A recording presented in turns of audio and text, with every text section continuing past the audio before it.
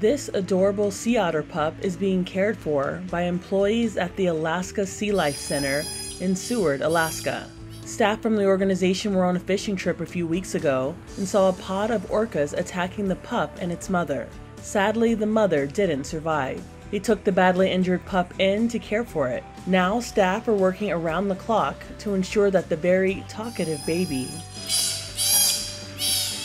is fed, bathed, and getting the rest it needs.